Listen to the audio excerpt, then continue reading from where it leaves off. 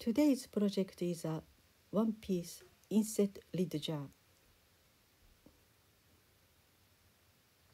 This technique is my favorite and I call it one piece. While some pots are made using several pieces, like a jar with a body and lid, I'll show you how to make a both the body and lid from just one piece of clay. So I call it one piece. Let's begin. I use 700 gram of stoneware buff clay on a small throwing bat. This bat, made of 6 mm MDF, is secured to the wheel using a thin layer of clay. To start, I'll shape the clay into a cone, ensuring even density and centered.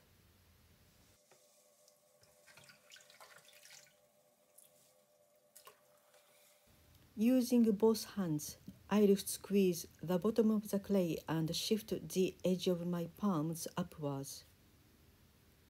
Now I'll use the edge of my right palm to push the pinnacle from the 5 o'clock position to the 10 o'clock position, while my left hand helps maintain the clay's shape. Once the clay is ready, I'll flatten the top and decide the size of the pot. Creating a center hole with my right thumb supported by my left fingers. I'll leave about 5 mm of thickness at the bottom and slide my right hand's fingertips along the bottom towards myself while my left hand holds the base steady. A wooden rib is used to compress the bottom and set the internal size at 8 cm, rib plus 3 cm. Now the base is complete. It's time to stretch the wall of the pot.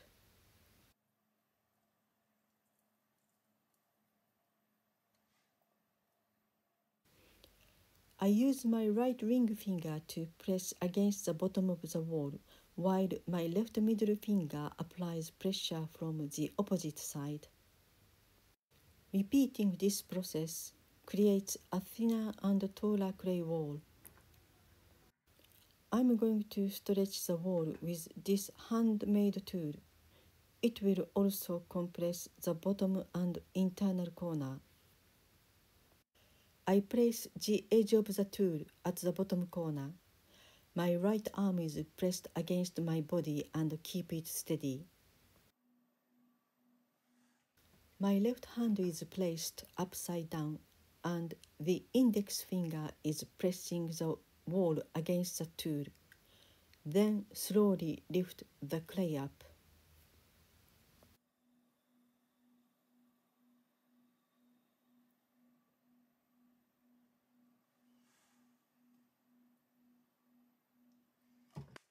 In the beginning, this action is slightly tricky because my left index finger's middle part is not as sensitive as my fingertip, so it is difficult to feel the wall thickness. So I try to see the pressed point vertically directly from the top to control finger pressure.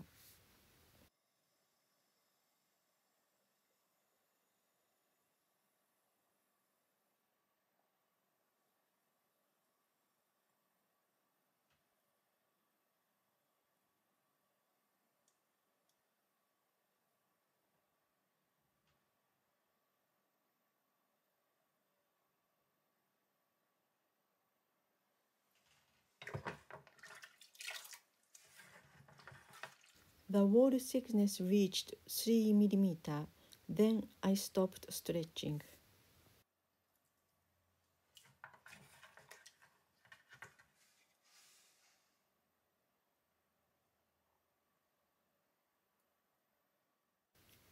Mark the middle of the cylinder and divide the upper part into three sections.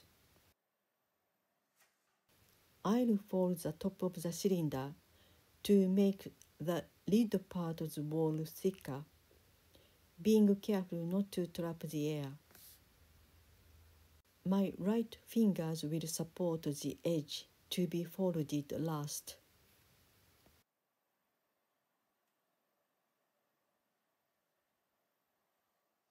Then I'll bring the top in to make a straight cylinder. I'll smooth the joint part without stretching the wall.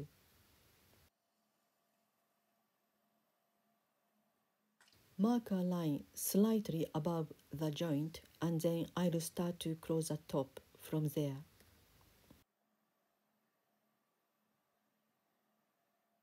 To prevent the shoulder from becoming too wide, I'll start to squeeze below the shoulder.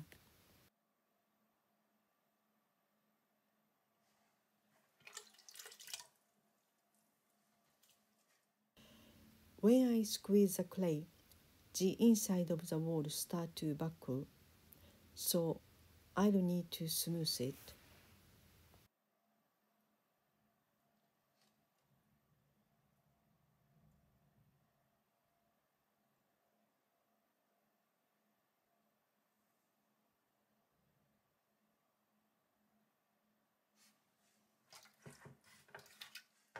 Before I close the top completely, I'll reshape the side wall, creating a clear shoulder that helps form a nice dome on top. Now it's time to close the top. I already removed any excess water using a sponge with a long stick. Once my hands reach the top, I keep my left hand in position to hold it steady while my right middle finger pushes the clay to close the top.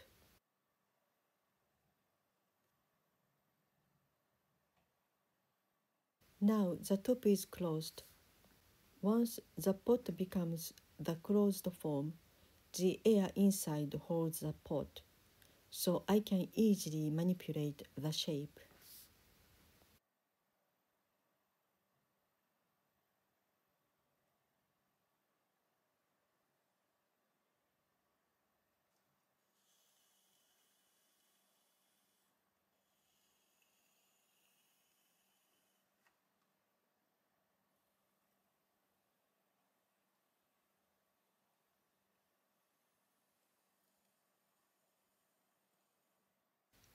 I'm using my left hand which is very wet to create a slippery surface and then I slowly push the needle. I clean the bottom of the pot and trim it. This helps in achieving a clean circular shape which is essential for later step like trimming. I use a fishing strings to separate the pot from the bat later.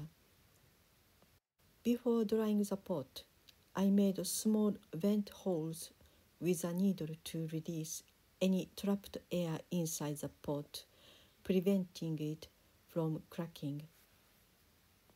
I didn't record that action, but it's very important.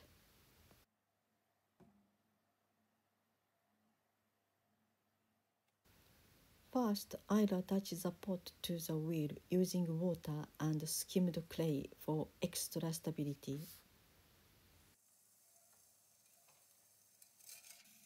Using a loop tool, I quickly reduce the thickness of the wall, ensuring an even surface.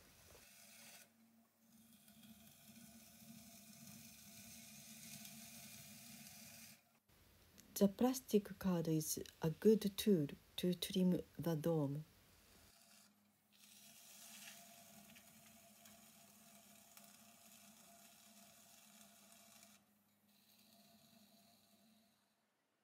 This is a jar with the lid on the rim style. To make this style, please refer to my other video, One Piece Lidded Jar. I also posted a double-decker version. I'm making a jar with an inset lid today.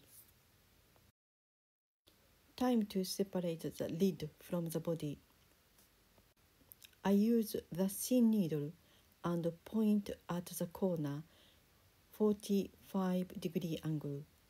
My right arm is heavily anchored on the splash pan and my left hand is holding my right wrist to give extra stability. My right ring finger is gently touching the pot to keep the needle position. My right middle finger is controlling the pressure to the needle. The wheel speed is slow. I slow down the speed again at this point as my fingers feel the clay resistance is getting less, meaning the lid will be separated soon. The lid thickness is very good as I made it in double. The pot edge thickness is also very comfortable. I have plenty of clay to make a gallery for the lid. I clean the cutting edge with a needle.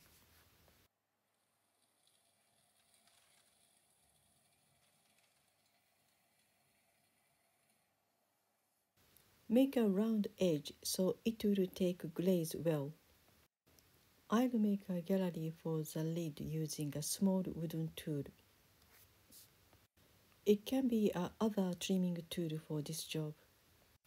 I found wooden tool is good for this as it has a softer edge.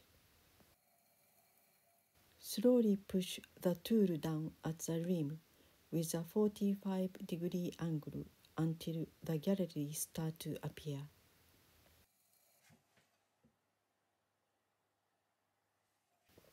I'll separate the pot from the wheel. I clean the edge first before sliding the metal kidney between the pot and the wheel.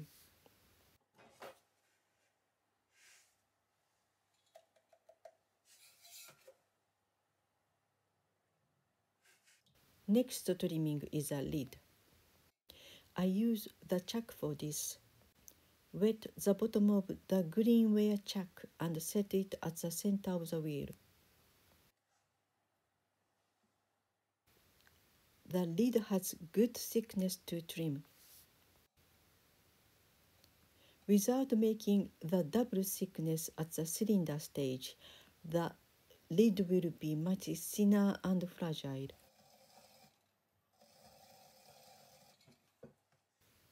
This gauge is very useful to measure the lid and pot in one go. I measure the internal diameter with one side then the other side is the exact size of the lid diameter.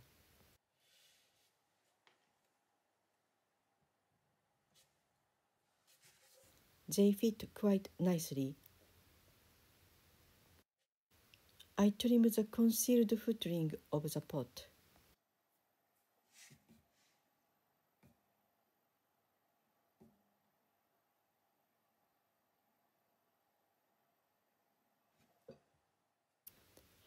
After the centering, secure the pot with three pieces of soft clay. Press the clay to the wheel first, then gently attach it to the pot.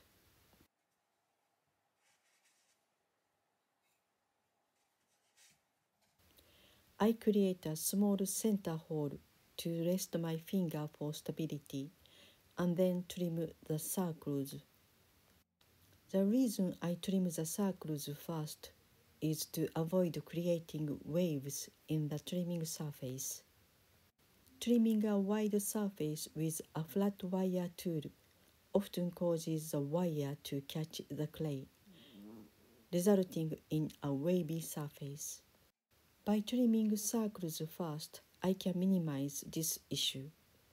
It can be a flat polished bottom as the pot is not for hot liquid. I prefer less contact surface, so I've chosen the concealed style.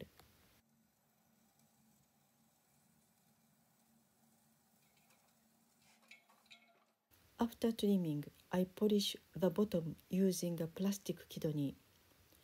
This step not only adds a finishing touch, but also helps prevent the occurrence of S cracks, which can be common in pottery.